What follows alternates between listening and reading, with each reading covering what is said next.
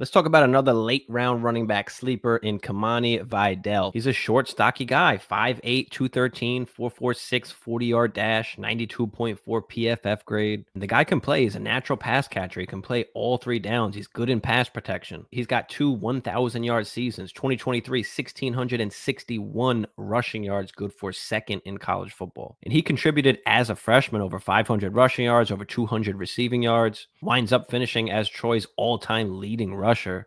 And yes, it is a smaller school. They don't play the greatest competition, but this guy can do it all. Great patience, great balance, a powerful runner. 94 missed tackles forced, good for second in college football last season. The negatives are going to be his size, his speed, and how late does he wind up going in the NFL draft. He's a great guy to take a flyer on later in your rookie drafts.